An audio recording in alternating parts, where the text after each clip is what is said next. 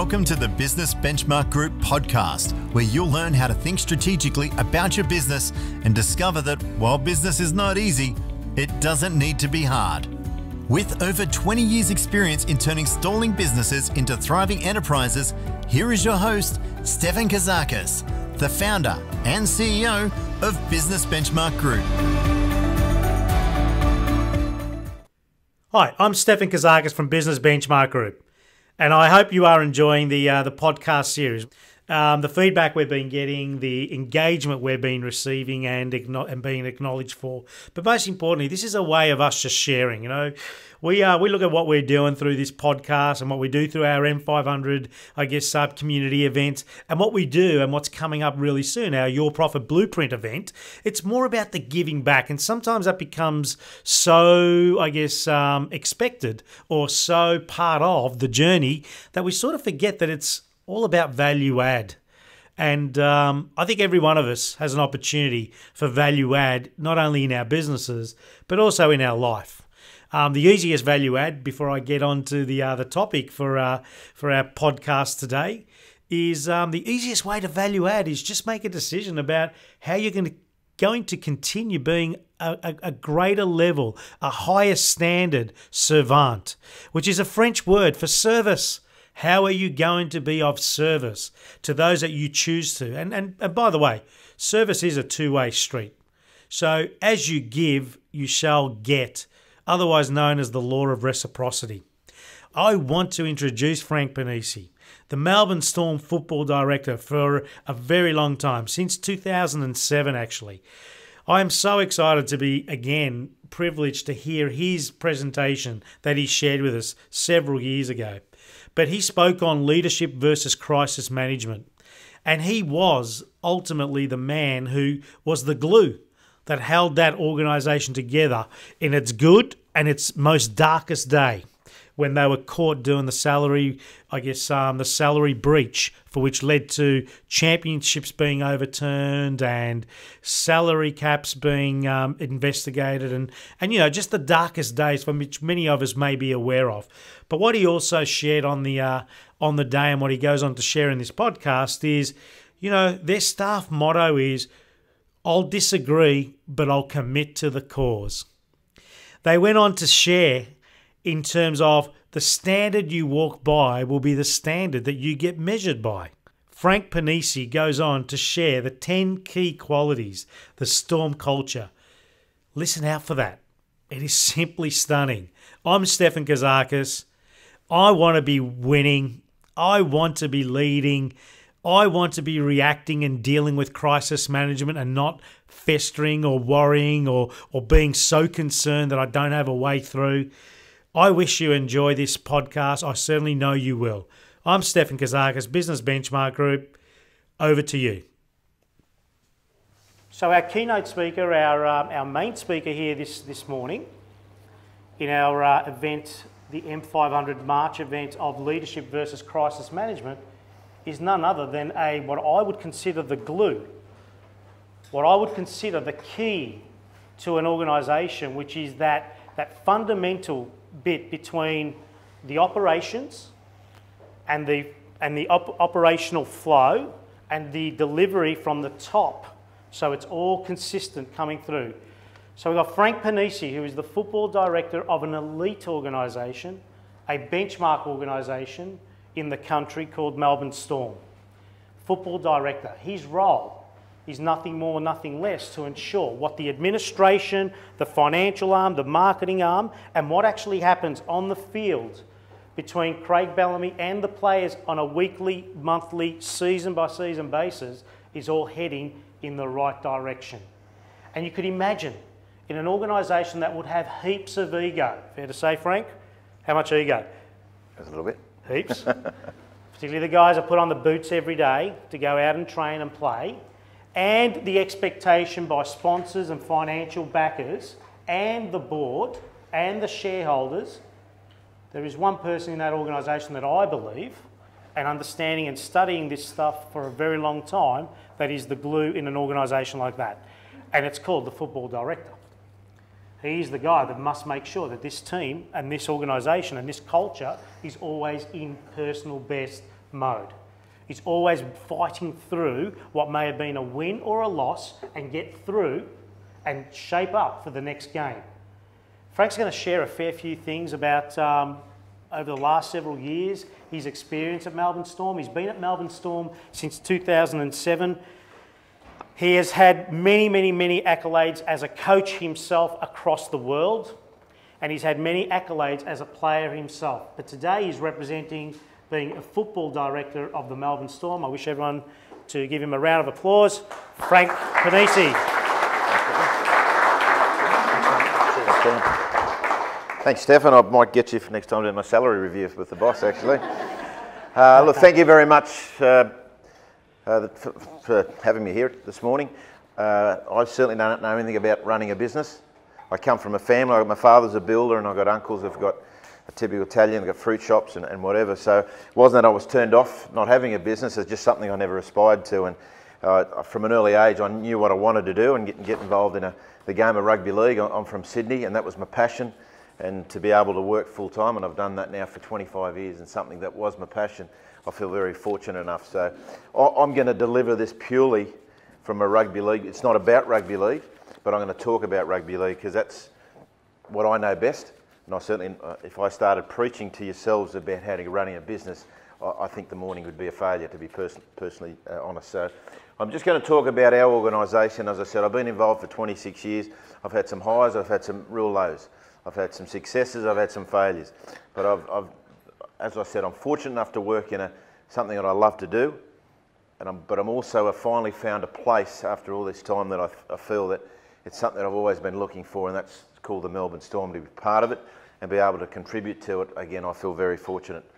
Um, I'm certainly not an expert, but I, I base this on purely on experience over those 26 years and in the eight seasons that I've been at the Storm which uh, I believe is an elite organisation, uh, especially working across uh, both two codes in rugby league and also for a short time rugby union overseas um, and across a, couple of different other sports. So I'm able to share my experiences through lots of different people. Oh, that's how I learn the best way. Just even me sitting here this morning and listening to a few speakers makes me think about my role. And I think that's, that's purely my philosophy. Always learning. Never stand still. I always want to learn and I learn best through people. I've got a heap of books at home. I'm not a great reader. I flick through them. I've, I, um, I studied it. I did my bachelor education in the 80s, but basically since then, the odd coaching course, it's, I've learnt through experiences and through people. So that's what I'm basing this morning on. We'll go through uh, very quickly a bit of a background on myself, not, not at all, what the NRL competition, what our competition is, and our club. Um, I'll talk briefly about my current role and how, how that works in the club operation. I'm going to talk a fair bit about our head coach, the influence he has on our club, and the legacy that he's left and he's continued to leave. Uh, we call it the rise, the fall, and the rise of the club, uh, which uh, has made the club a lot stronger.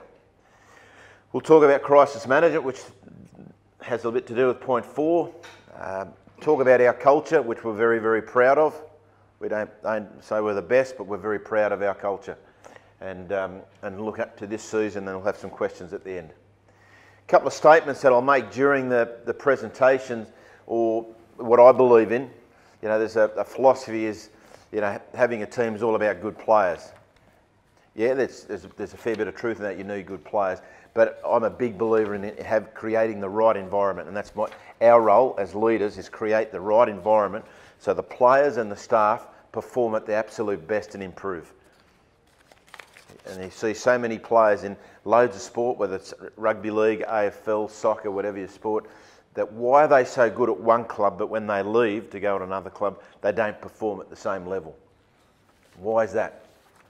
I believe it's about the environment maybe they're not going, they're going to a not as good an environment as the one they, they were.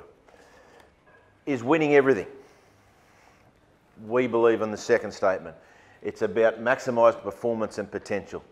Winning is the ultimate, we all want to win. That's why every day we wake up to train, everything, it's about winning. Winning this week's game, winning, winning the competition. But ultimately, it's sustained success which makes a, a good organisation to a not so good organisation. Again, you see so many teams have a win the competition and then they'll dip for a couple of years and they'll come back again. Is that successful or not? I like to look at the Geelongs, for example, in AFL. I look, at ourselves in rugby league that maybe not win it every year, but we're up there competing every single year. And that's, to me, tells that that's more important to us. There's strong leadership. And leadership is just not about the coach and the football director, it's about eh, other people in the organisation. Everyone's got to lead. Everyone's got to lead, but more people carry probably more responsibility and leadership than others, but everyone leads in your organisation to get the very best out of people. We've got to cope with failure and crisis. It happens. It happens, and, and we've experienced our fair share. Uh, again, as I said before, we're always searching for ways to do things better. We never stand still because we know there's people trying to catch us. And, for, and, and even in all, our part, we've looked at ourselves, which I'll talk about later. I've got a feeling a couple of clubs that overtaken us in a few areas, and that hurts us. So we're trying to get better again. Never stand still. Uh, we challenge each other.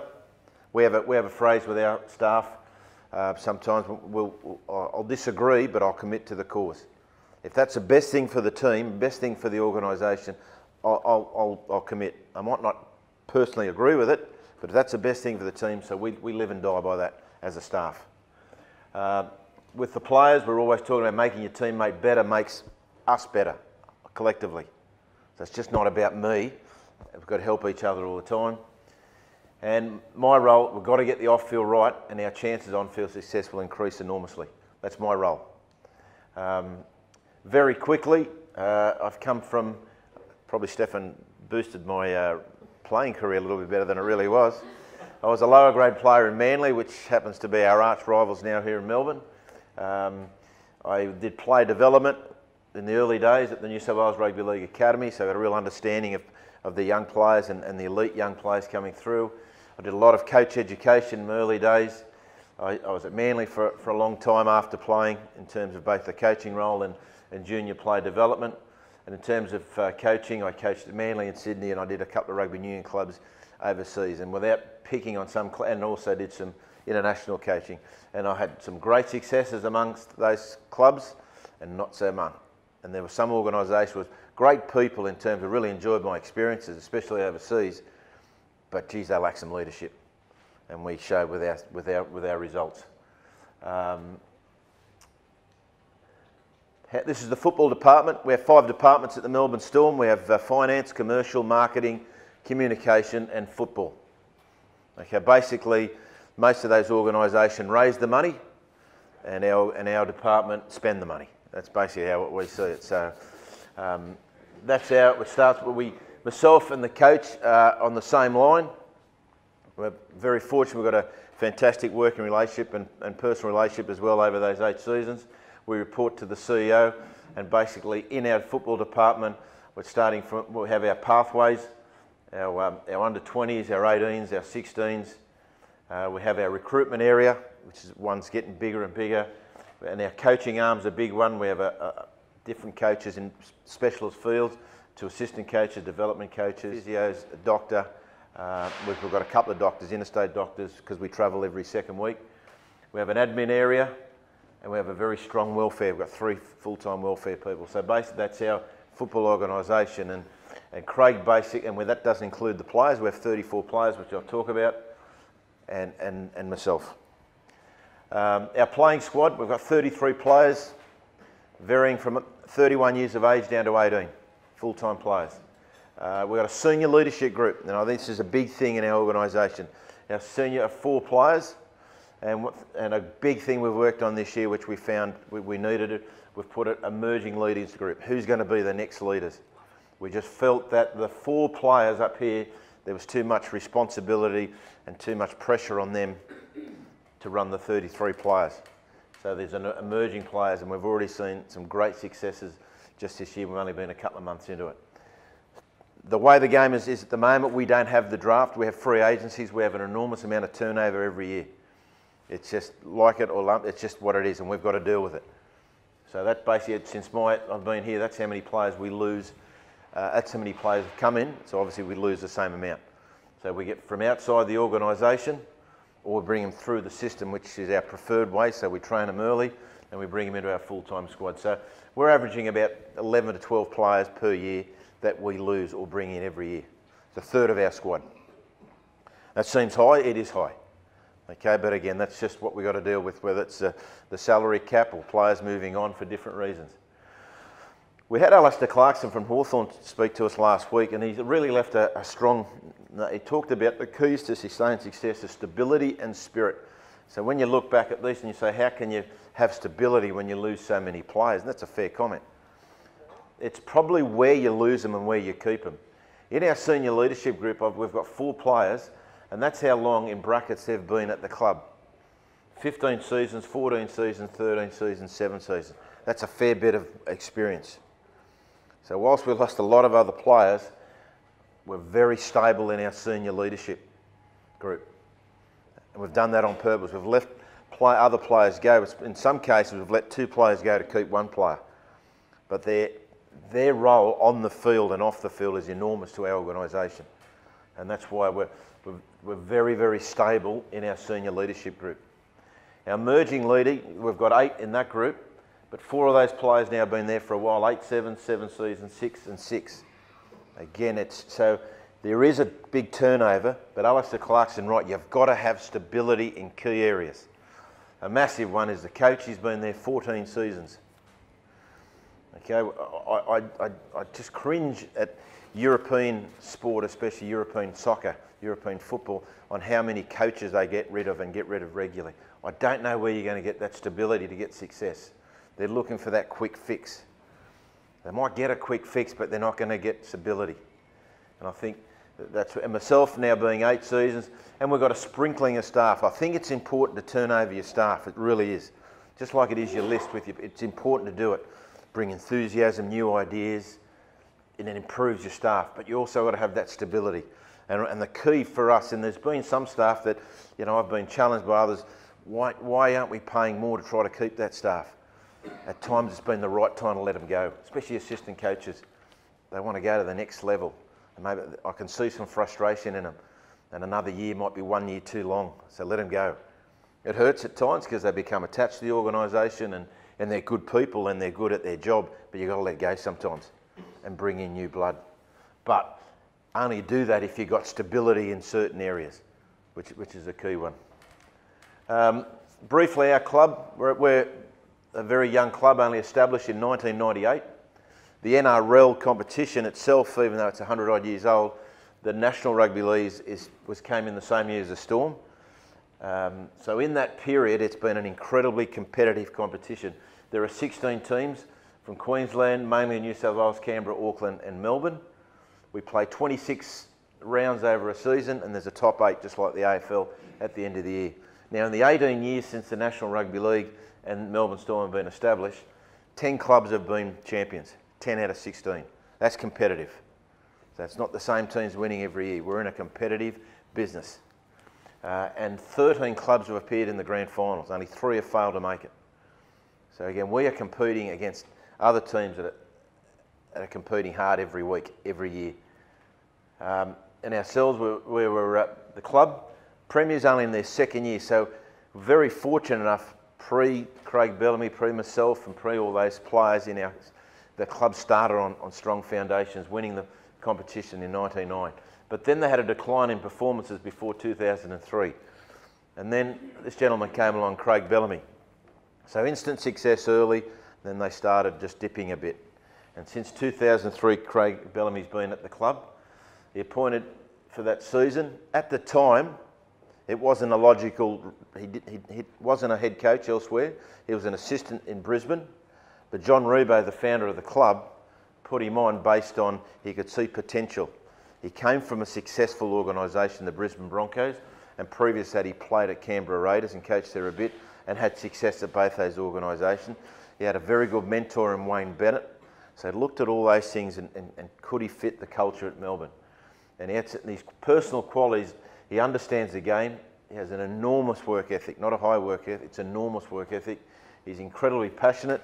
He's self-disciplined. He's very big on his routine. His attention to detail is greater than I've ever seen any individual in any organisation.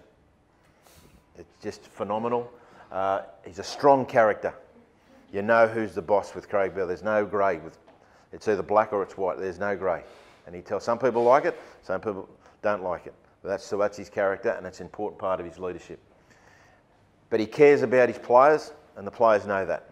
So he comes across as this very strong, uh, aggressive person, but he, he's a caring about the player and, and especially their off-field and their family. And that's a massive thing in organisation. And he's always willing to learn, massive on learning, never standing still. Uh, however, like any, any of us, in his early days, and he's the first to admit there's areas that he had to work on as an individual.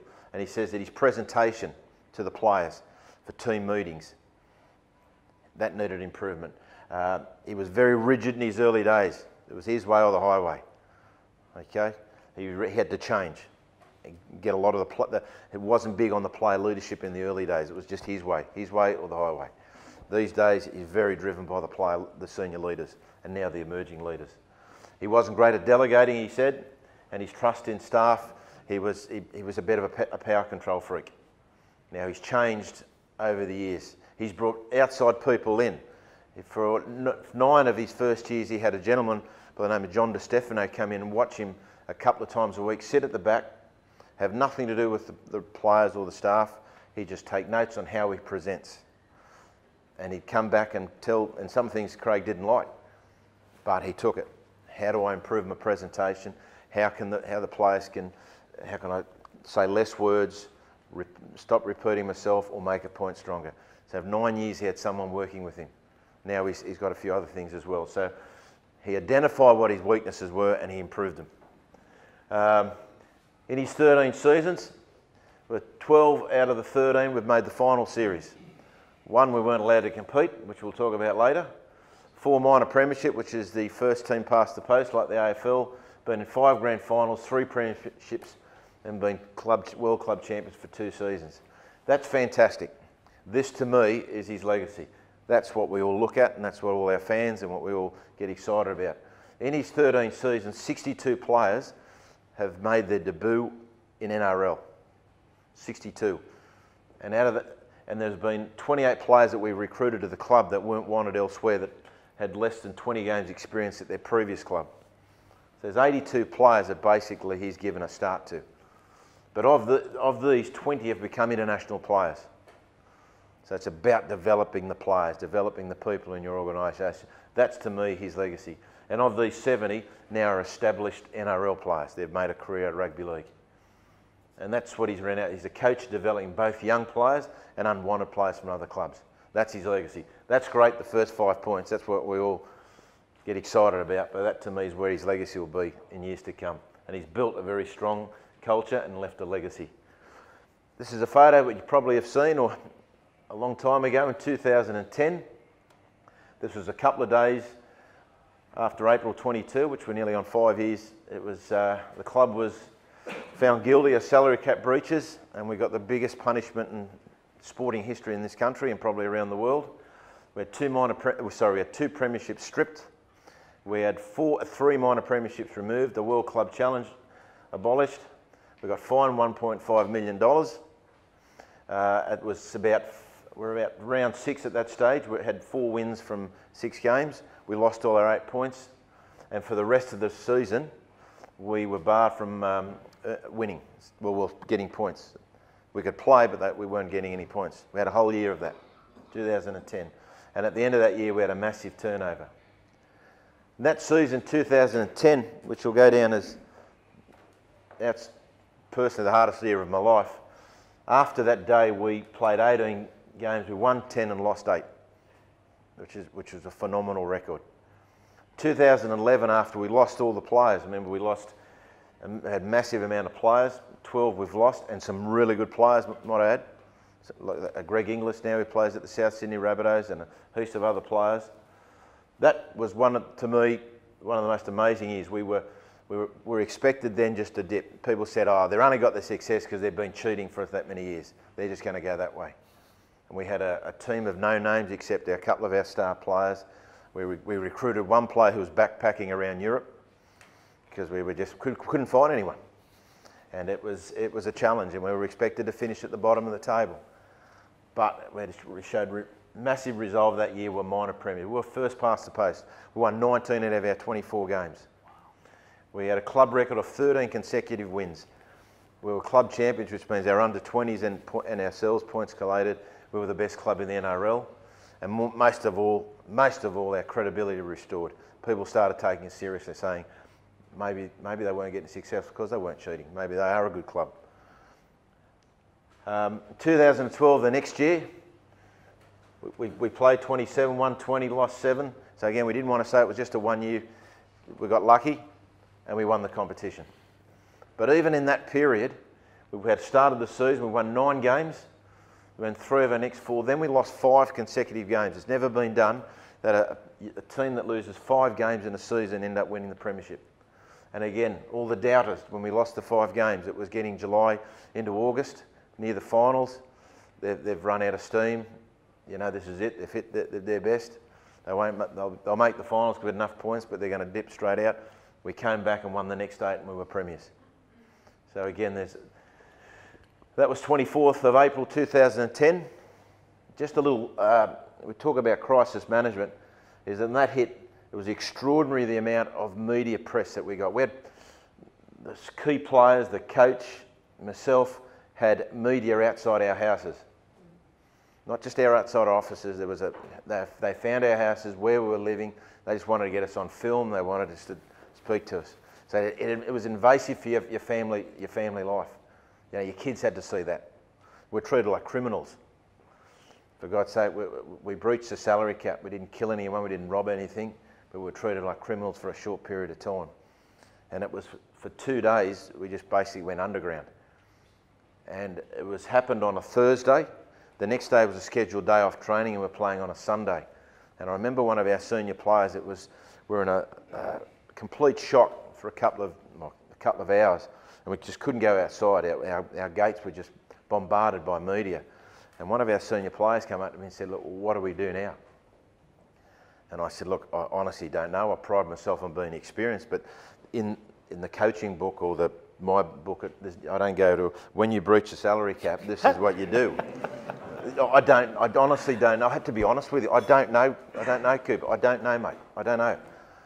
I said, mate. I think we just all just stay underground tomorrow and we'll reconvene on Saturday. I said, oh, we can't do that. This is a, this is a player telling me we can't do that. I said, what do you mean? He said, mate, we've got to get the leaders together. We, we, we've got to think, well, what are we going to do here? He drove it. Cooper Cronk mid 20s at that stage, 26 maybe. He drove that. So the next day, the, the leaders, we got together at one of the assistant coaches' house where there was no media, and we met and discuss what we're going to do, how we're going to, and it was just day by day at that stage. We weren't looking too far ahead, how we're going to get through to Sunday's game. Because there were talk that we were going to forfeit the game, and, and then we met, and then Craig Bellamy said, look, someone's got to speak to the media. I'll speak to the media. And the leader, and the leader said, You ain't doing that on your own. We ain't going to throw you on your own. And it was basically the players' idea to do that, that we're going to walk behind you and we're all in this together. We're not going to send you out those, the pack of dogs on, on your own. And they basically walked out. See, Craig's got a, a prepared statement in his hand. They walked on, out from our meeting to a packed media. He read the statement with the players all behind. And that was our, our, that was our that was driven by the leadership group, our, our unity. We're in this together and we ain't, we ain't going to break. And then two years later, we did that. So that was an incredibly rewarding e- experience. Um, crisis management, while we're on it, again, you, you learn these, there's no manuals about it. I think the key ones, you confront the situation with your team, and they confront it with yourself as well. Uh, uh avoid making decisions on emotion.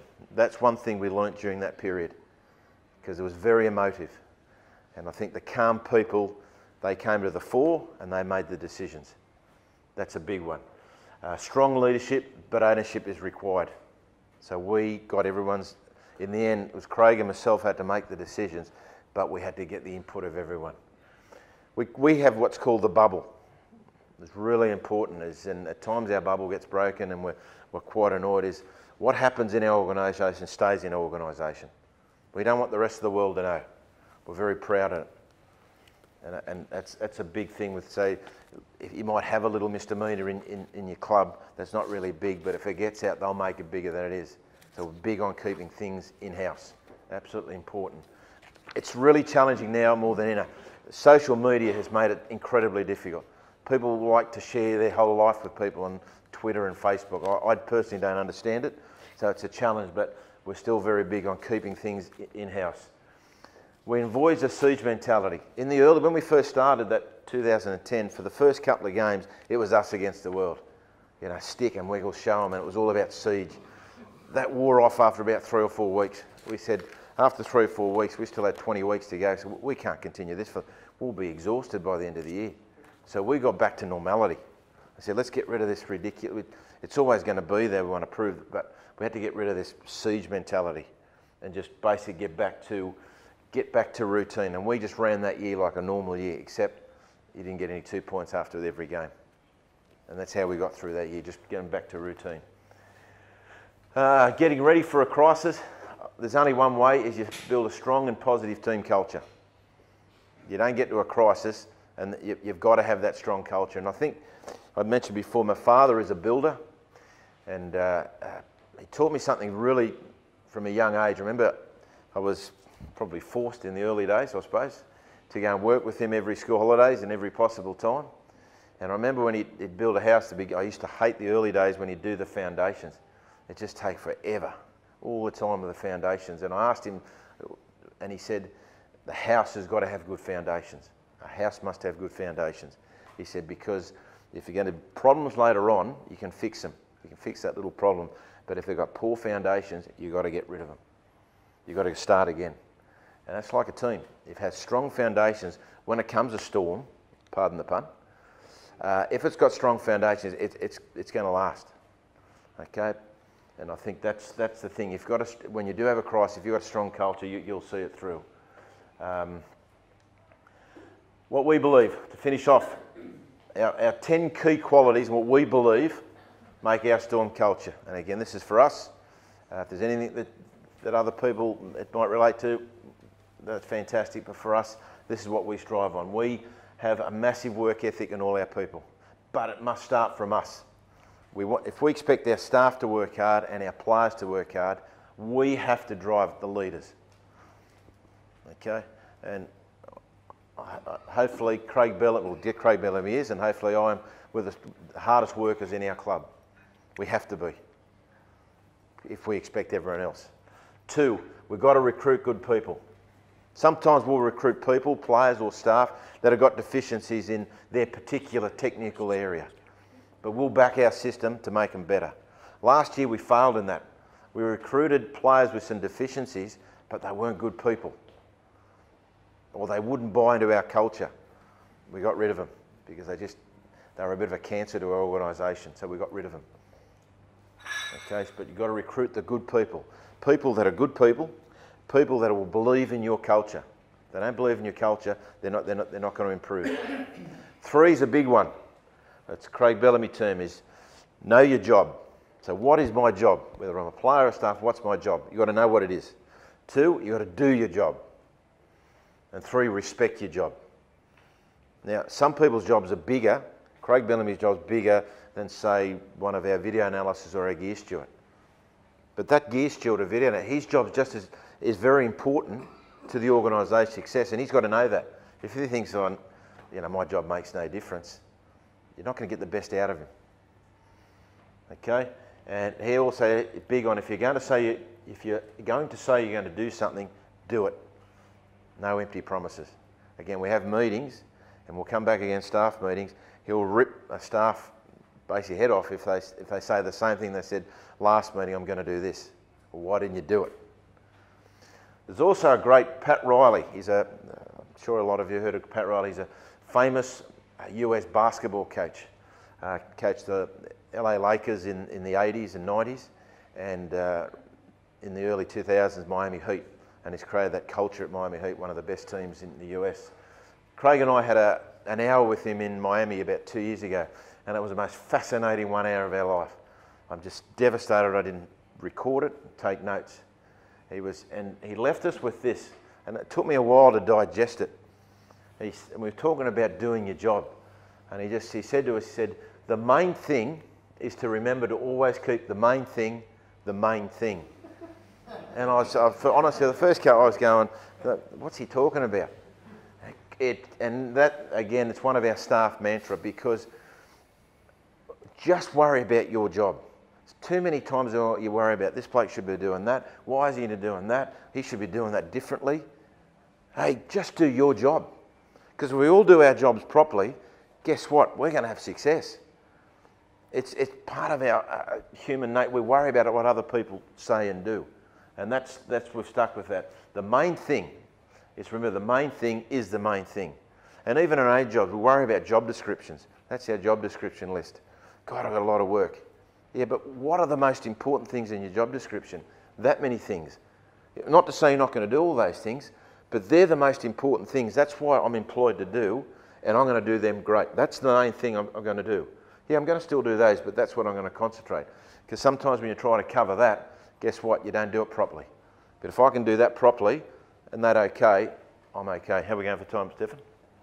Getting there? Um, strong team values. Again, we have uh, a big thing we call, uh, uh, we have trademarks on our core values on field, off field. We have uh, no dickheads, no dickhead policy, okay? I know the Swans have the same. We, we like to think we were the first. So basically, we are big on our players when we travel, because we travel every second week.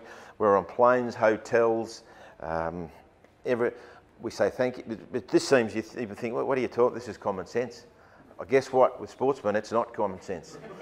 thank yous, please. Uh, smile. It's just being, you know, you're wearing our shirt, you've got to take pride. It's about our culture, and that's what we're big on. And when we're out in public, how you carry on is important. So we, we drive that as well. A, couple of other things. I'm just going to get to uh, attention to detail, which I've talked about. Be proactive, not reactive. Always what Stefan said, plan ahead. Envisage there may be problems, so what are we going to do beforehand? Be consistent in what we do. This is a massive one. Every week, week day in, day out, week in, week out, year in, year out. Pete Carroll, when he won the uh, Super Bowl with the Seattle Seahawks two years ago, he made, a, he made this comment straight away post game at the press conference. He says, We have a lot of players who have been with us for a number of years and we've been developing our language, our philosophy, and we've been commonly consistent, sticking with the message, and we keep pounding it through. Commonly consistent. The whole organisation believe in it, and we all do it consistently. And that's what organisations are. Not just doing it, it must be good one week, next week we'll drop off a few things. It's week in, week out, day in, day out, preaching. And again, that's something, again, we, we, we talk about. The bubble I've mentioned, a good development pathway, and strong leadership. Head coach, staff, players, and again, get back. Alastair Clarkson had another one for us last week. The standards you walk past are the standards you accept. Now, for a lot of you, me included, it gets very time consuming, but saps a lot of energy you driving all the all the, the, the values, all the rules, all and it's it, it, takes a lot out of you, doesn't it? It, it? And you're sick of being the bad guy all the time a lot. So again, with our players and our staff and, our senior leaders, if you see something, if someone's not wearing the right gear, they're five minutes late, if we're out having a social and they're, they're a bit loud and they swear or something on the field, if you don't do anything about it, you're accepting that. Are you happy with that behaviour? No. What, what, what have you done? I'm not saying be confrontational, but saying, hey, come on, Stefan, mate, just, just, just watch the language, mate. So again, that, that's a great one. That, that's a big thing at the Hawthorn Football Club. The standards you walk past, whether whatever your role in the organisation, that's the standards you accept. So if you walk past something, you're happy with it, that's our standards. If you're not happy about it, do something about it. Say something. That's about it. That's about it. hey, that's phenomenal. Wow.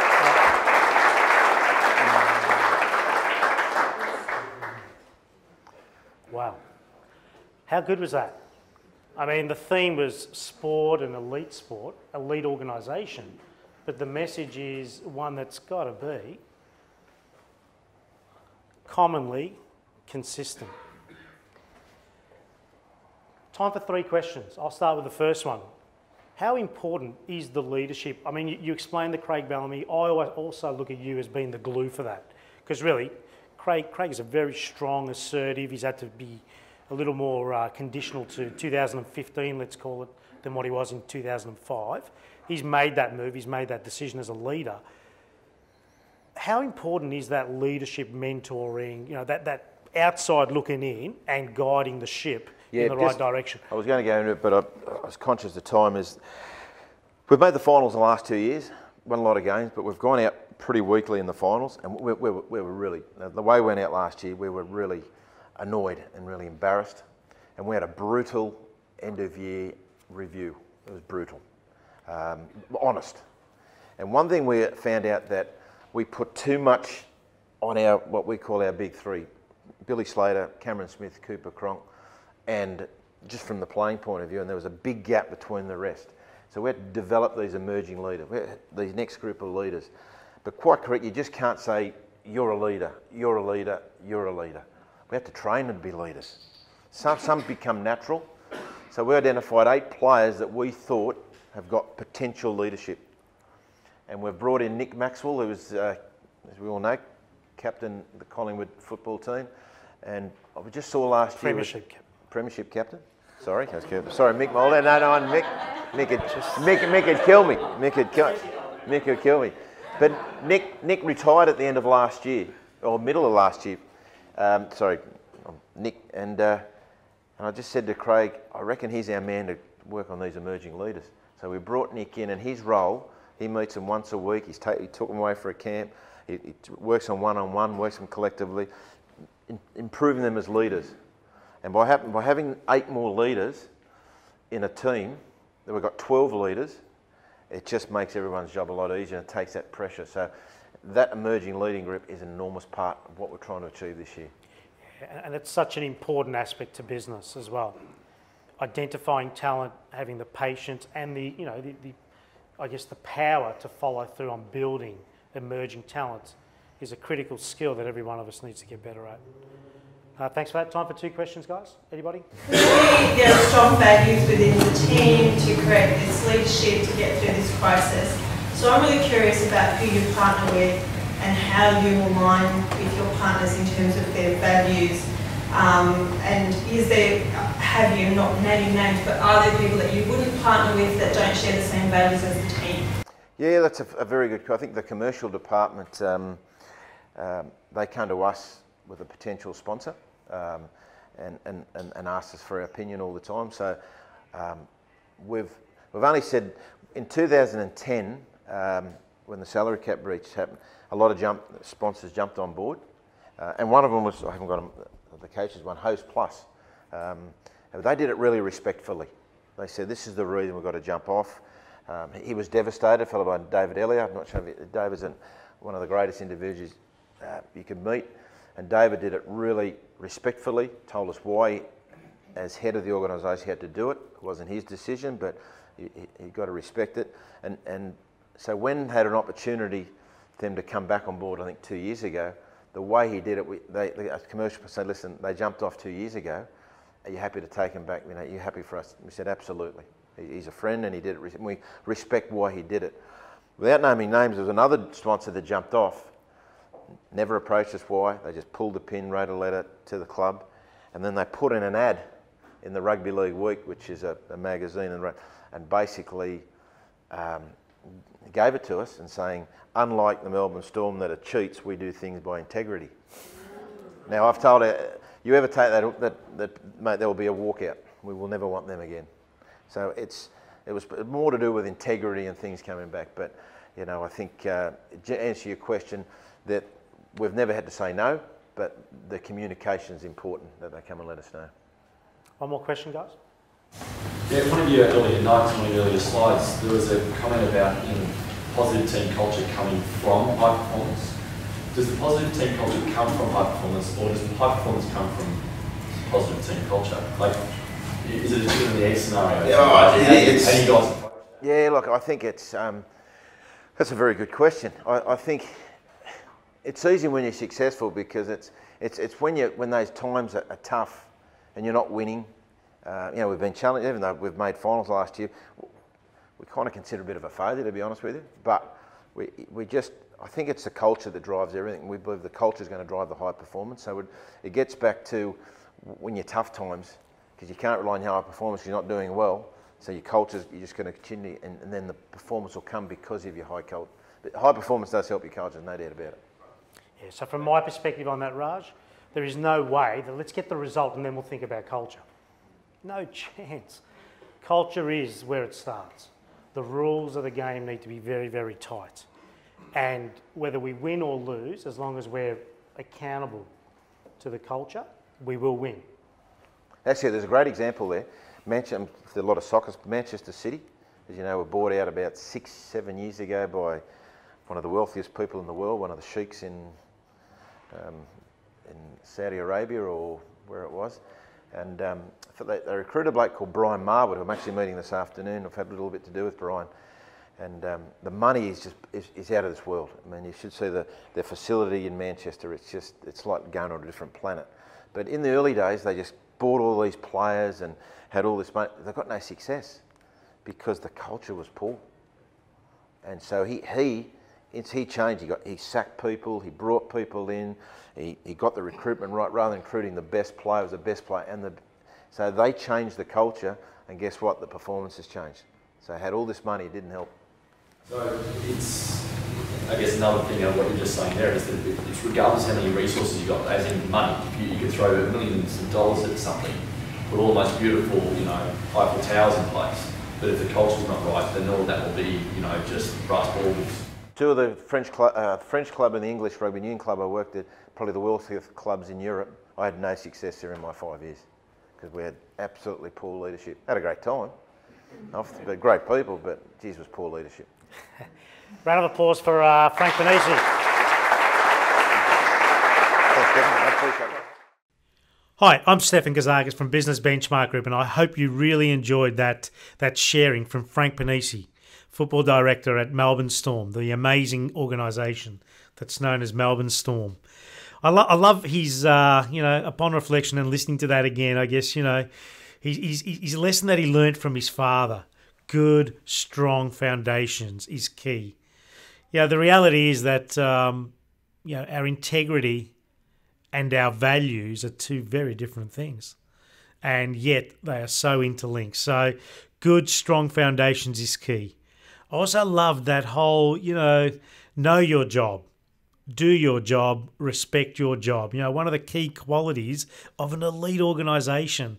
And why wouldn't we take that on as the business owners who are striving to just raise the bar for the standard that I guess defines us?